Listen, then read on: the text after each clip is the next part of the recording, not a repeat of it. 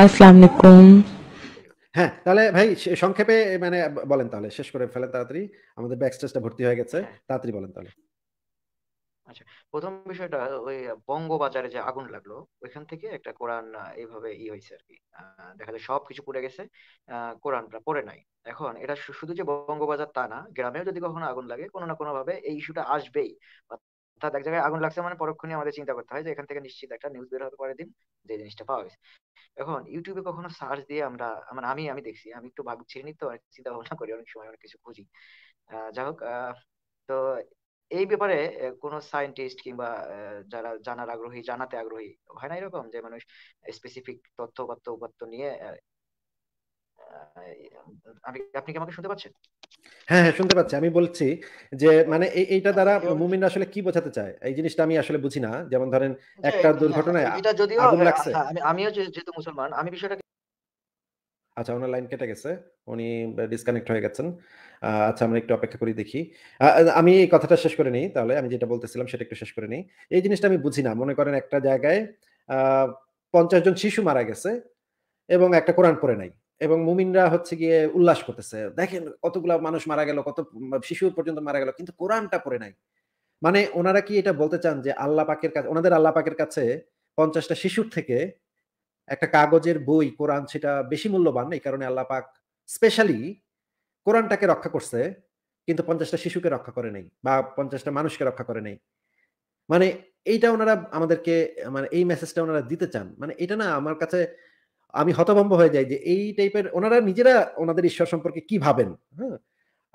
আমরা নাস্তিকরা না হয় গালি দেই। আল্লাহ পাক এগুলা ফালতু জিনিসপত্র মানে আমরা না হয় বলি। কিন্তু তারা তাদের আল্লাহ পাক সম্পর্কে কি ভাবে সেইটা চিন্তা করে না আমার একটা বমি আসে। চিন্তা করেন একটা বাচ্চা পড়ে যাচ্ছে এবং কোরআনটা পাশে আছে। আল্লাহ পাক কি করল? আ কোরআনটারে গিয়া সেভ করল। হ্যাঁ? মানে সিরিয়াসলি তোমাদের আল্লাহ পাকের এই এই অবস্থা সে একটা শিশুকে রাইখা কোরআনকে রক্ষা করছে। ওয়াও! তাহলে সেই আল্লাহ পাকের তোমরা মানে উপাসনা করো যেন তোমাদেরকে জান্নাতে দেয়। ওয়াও! একটা কাগজের বই, সেই বইটাকে আল্লাহ পাক রক্ষা করছে একটা শিশুকে রেখা সিরিয়াসলি মানে এই এই জিনিসগুলা না মানে আমার হজম হয় না। হুম? দুই নম্বর কথা হচ্ছে যে কোরআন এবং মানে বাইবেল বা ধর্মগ্রন্থগুলো এগুলা সাধারণ স্বাভাবিকভাবেই এমন কাগজে তৈরি করা হয় যে কাগজের উপরের যে প্রচ্ছদটা, প্রচ্ছদটা মানে যে মোটা ইয়াটা সেটা অনেক মোটা থাকে। হ্যাঁ? আপনি দেখবেন অনেক দামি বইগুলা, দামি বইগুলোর উপরের যে কভারটা, কভারটা অনেক মোটা থাকে। স্বাভাবিকভাবেই আগুন যদি লাগে এবং যখন আ মানু মানুষজন যখন এই ধর্মগ্রন্থগুলা রাখে, তারা একটু ভিতরের দিকে রাখে, লুকায় রাখে। হ্যাঁ? তো স্বাভাবিকভাবেই বোঝা যায় যে এবং অনেক সময় দেখা যায় চামড়া দিয়ে ইয়া করে দেয়, লেমিনেট করে দেয়। কোরআনটাকে লেমিনেট করে দেয় বা এভাবে করে দেয়। এই সমস্ত কাজ করলে সেই বইটা পড়ার সম্ভাবনা কমে যায়। এটা তো খুব স্বাভাবিক বিষয়। কেউ যদি দাবি করে যে কোরআন পড়ে না, তাহলে তো ভাই আমি তো খাড়ার উপরে বসে আছি। হ্যাঁ? আমি তো খাড়ার উপরে বসে আছি এটা প্রমাণ আমার সামনে প্রমাণ করুক যে কোরআন পড়ে না। তাহলে তো ভাই মাইনে নিবো ভাই তোমাদের কথা মাইনে নিবো আমি মানে লোক পাঠাবো, সে আগুন দিবে, তোমার হাতে যে কোরআনটা আছে সেটা কোরআনটা দিবা, সুন্দর করে পড়াবো।